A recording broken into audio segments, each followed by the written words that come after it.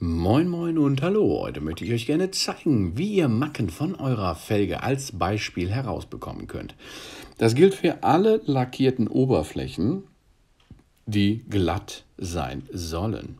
Wie ihr hier seht, haben wir bedeutend viele Kontakten, Fremdkontakte mit einem Bordstein erfahren müssen. Deshalb werden wir hier ein wenig reparierend eingreifen müssen.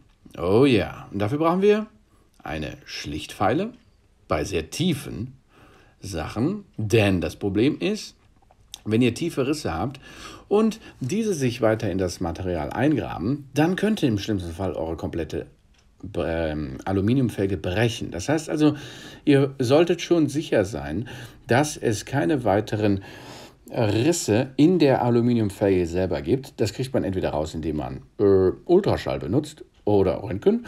Äh, oder ihr schaut euch an, ist wirklich nur der Defekt oberflächlich, sprich im Klarlack nur oder danach im Basislack und geht er ein bisschen in den Primer dann rein. Und wenn er minimal in das Aluminium reingeht, dann sollte es auch noch okay sein. So, das heißt also, wir fangen an. Wenn die Beschädigung tiefer ist als ähm, die oberen zwei Deckschichten. Dann solltet ihr eine Schlichtfalle nehmen und diese Kanten, die dann dort entstanden sind, schön säubern und abspachteln oder ab, ähm, abschmürgeln.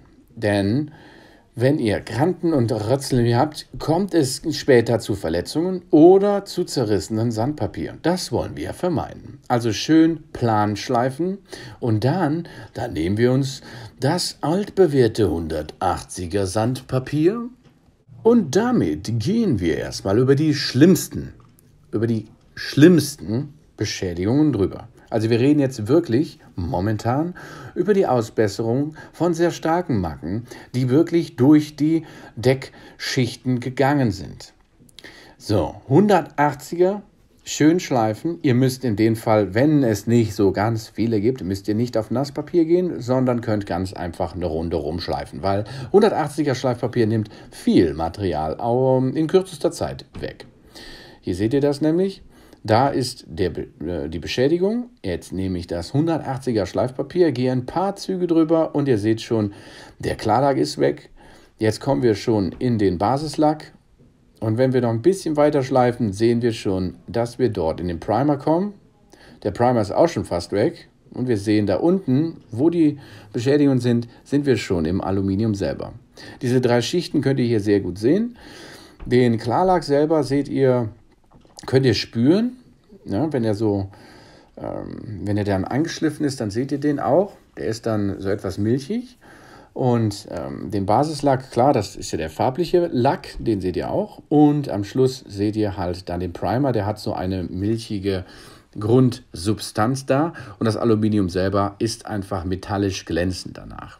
Wenn wir jetzt mit dem 180er Schleifpapier eine recht gerade ähm, recht gerade Kante oder geschwungene Kante wieder hinbekommen haben, dann sieht es schon mal viel besser aus als wie vorher. Hier sieht man das sehr gut, die verschiedenen Schichten, da sieht man es ganz klasse. Da seht ihr nämlich wirklich die äußere Schicht, die mittlere Schicht, die untere Schicht. Und um jetzt dann weiterzumachen, sollte man auf Nasspapier gehen. Das heißt also 800er Körnung nehmen. 800er Körnung und diese 800er Körnung nehmen wir dann und werden diese natürlich auch in Wasser einlegen. Und dann müssen wir die besagte Stelle, wo der Schaden ist oder war, aber er ist ja immer noch da, weil es ist ja noch nicht wieder eingefüllt, müssen wir diese besagte Stelle schön säuberlich abschleifen, weil wir müssen die Stelle, die ja ähm, defekt war oder ist, müssen wir jetzt ausbessern. Das heißt, wir müssen auch den Grund halt für den Lack, der das dann alles versiegeln wird, später finden oder bringen. Das heißt also großräumig darum anschmürgeln mit 800er Papier.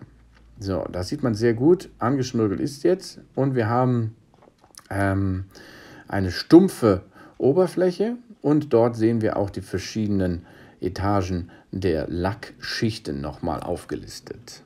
Danach eventuell Aluspachtel drauf, dann Füller, dann Basislack und zum Schluss dann noch den Klarlack oben drauf und dann ist alles wieder schön. Ich sage vielen Dank fürs Zuschauen. Bitte abonniert mich, gebt mir ein positives Feedback und bis zum nächsten Mal. Zun, zun.